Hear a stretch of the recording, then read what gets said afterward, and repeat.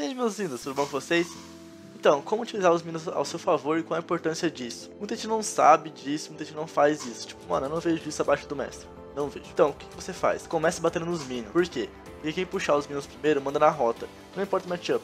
Pode ser feiro contra o Panteão. Se você começar puxando os minos e pegar dois primeiro, você manda na rota. É dois motivos. Primeiro, que você tem mais dano, mais HP, mais arma, mais tudo que ele e uma skill a mais, tá ligado? E segundo, que você tem mais minions do que ele. Então na troca os minions vão ajudar você. Então, mano, pra você ganhar qualquer matchup do 1 ao 3, é só você puxar a rota. Você puxa a rota, você, você vai mandar nela. E muitos inimigos, tipo, três inimigos no caso, vão querer trocar com você. No elo, sei lá, diamante, platina, whatever. Vão querer forçar trade com você. E você vai ter os minions e um leva a mais. Então só você bater nele. Você basicamente vai mandar na rota só porque você puxou os minions a seu favor. Então o minion é muito importante. Outra dica muito importante.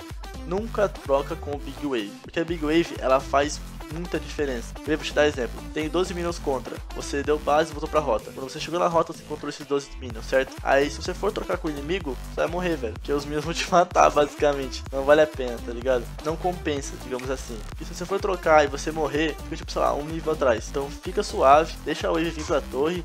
Na torre você limpa a wave, pega toda a XP ouro possível, daí você troca com ele. E daí se você morrer, você não perde a Big Wave, os minions não vão te dar dano, não vai ser arriscado, vai ser suave. Então nunca troca com o Big Wave. Outra dica muito importante de minion também é você frisar. Como que eu friso, Acrinos? Cara, vou deixar um link na descrição do vídeo ensinando como frisar, como, como controlar um pouco a wave. Isso é muito bom. Você frisa, você vai ter tipo assim, 100 de farm o cara 50. Então, cara, vai te ajudar muito, muito, muito mesmo. Freeze é a melhor coisa que você faz para subir de elo. A pressão que você põe é gigante. Às vezes você morre na rota, mas você frisa e ganha, sei lá, tipo uns 10, 12 minutos de vantagem.